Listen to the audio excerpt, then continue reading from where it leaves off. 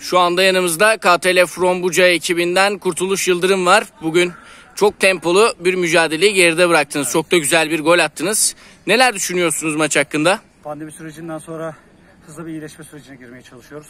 Çünkü 3-4 ay çok ciddi yattık, kilo da aldık. Ekip olarak da uzun süredir oynamamanın verdiği rağbet de var. Ama bakmayın yaşımız 35 üstünde olmasına rağmen koşuyoruz. Mücadele ediyoruz. Bildiğimiz kadarını sahaya yansıtıp centilmence oynamaya çalışıyoruz. Bugün rakibimiz de gayet centilmendi. İyi bir maç oldu. İnanıyorum ki hiç kimse zarar vermişizdir. Ee, geçen sene çeyrek finallere kadar çıkmıştık. Bu sene yarı finalde üzerine düşünüyoruz. Toparlanma sürecindeyiz. Bugün de gördüm. Hava çok sıcak olmasına rağmen herkes çok koşuyor. Basıyor ve centilmence oynuyoruz. Dileğim budur ki herkes de bunu böyle devam ettirsin. Saygı seviye çerçevesinde güzel maçlar olsun. Peki. İstiyoruz. Çok teşekkür ediyoruz bu güzel teşekkür ederiz. görüşleriniz için. İyi akşamlar. İyi akşamlar.